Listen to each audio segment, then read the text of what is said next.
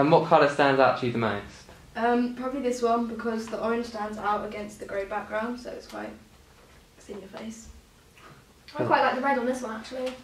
Kind of it stands out because it's got white background as well. So Yeah, and I, I like this one. It's kind of similar reason to note that um, I like the red. It's quite bold here, and then also the light background is kind of a, like a beigey colour, and it's contrasts against the black and the red. yeah, it kind of just grabs your attention. Yeah. What images stand out to you?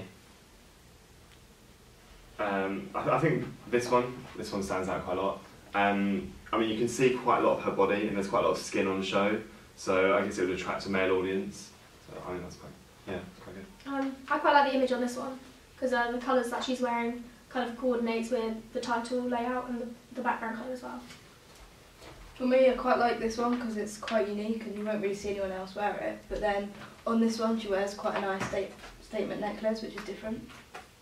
Which magazine front cover do you like the most? Um, I think I quite like this one because it's um, simple, but also the Kim it stands out because it's in bold pink.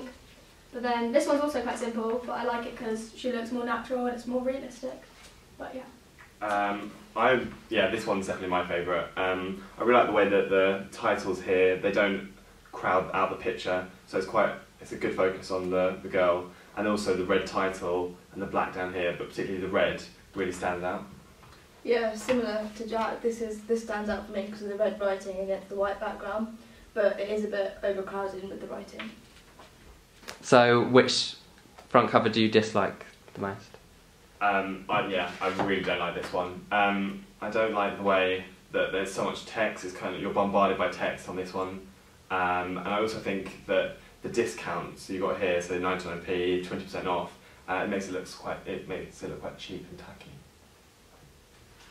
Yeah, I agree with Jack with this one. It is it just looks really childish. The font is a bit childish, and the colours aren't that nice either. Um, I'm not really a fan of this one. I think it looks quite immature. Uh, also, it's overcrowded. It's just it's not appealing to the eye because you uh, there's so much on the page you can't focus on anything. And also the um, the photo is taken by paparazzi. It's not really professional. It doesn't give the professional look. It looks like a not really upmarket kind of magazine. On the front cover of a music magazine, does it help if the artist is well established and attractive? Yeah, definitely because you're more um, enticed to pick up the magazine because you want to read about them and get to know them. Um, yeah, I agree with Zena. I think it's, it's definitely um, encouraging. So you see someone you know on there, like a celebrity, you want to know more about them, so there'll be articles in the magazine. I think also it helps if they're particularly attractive as well, because it makes you more likely to buy the magazine. Um, personally, for me, I, I look up to celebrities and their style and everything. To, so to see what they look like on the front cover kind of helps me with like my decisions of what to wear as well. What kind of um, prices would you suggest me charging for my magazine if I went for something like the Elle or Well, the yeah that one? Um, okay, so I mean, the magazine I read is The Economist, and that costs about four pound ninety nine. Um, and I'm happy to pay that price if it's a good quality magazine. I think also by doing it as a ninety nine p kind of, and instead of a pound on the those using tactical pricing, so you're more likely to buy it because you think it's cheaper. Okay, I think the pricing should be around four to eight pounds because um, if you pay more for it, you think it's more worth it and it's more high end. So yeah. Yeah, I agree with Nash on this one. I think you need to pay about four ninety nine sort of price margin. Which content pages do you like and dislike?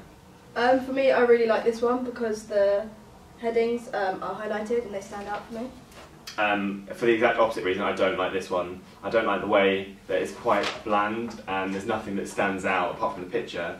Um, but it seems that the, fo- the page ma- mainly focuses on the picture and not actually the text.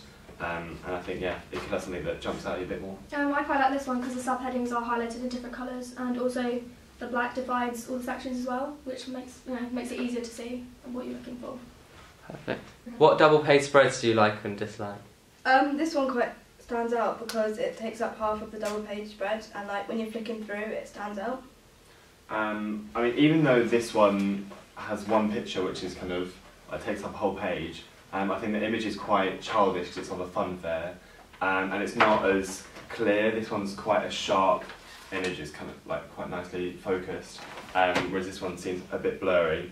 Uh, and also, I think the other page, um, it doesn't have a lot of content on it, and if you've got a big picture, you kind of expect to read something about the article, um, but there's not a lot of text.